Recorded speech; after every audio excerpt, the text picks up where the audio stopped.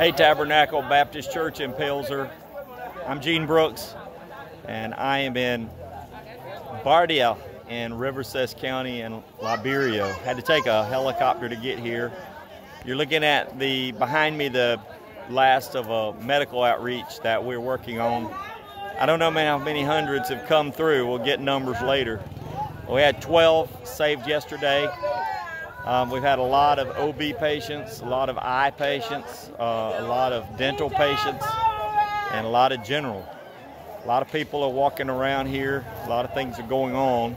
The church is behind me, and you see the people are waiting. Uh, right behind me now is uh, the pharmacy is set up, makeshift pharmacy set up inside that building, and uh, people are waiting for the the free medication that they uh, have come to see the doctor and the doctor's prescribed. Uh, these medical outreaches are winning many people to Christ and are going to remote areas where there is no access at all to the gospel.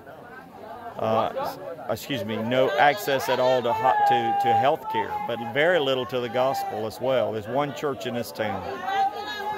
When we kept, we did this outreach to support our local missionary from the Evangelical Church of Liberia, Sam Foley, who is came here to help this church get started. We're seeing a lot of things happen with God. We just can't keep up. Uh, wife and the children are at home in Monrovia. Uh, the Samaritan's Purse helicopter will be here uh, in about two or three hours to pick us up and take us back to the city. Uh, we are it's about an hour flight uh, along the coast uh, to get back, but we're out in the middle of the uh, Poor Forest in Rivercess County. Um, thank you so much for, for giving. Thank you so much for sending us out here. Uh, we love all of you and miss you and hope to see you soon.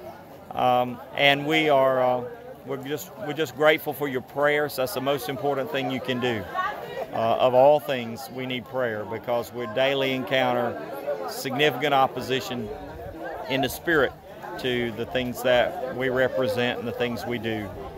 Uh, thank you so much. God bless you and look forward to uh, seeing you when we're on that side.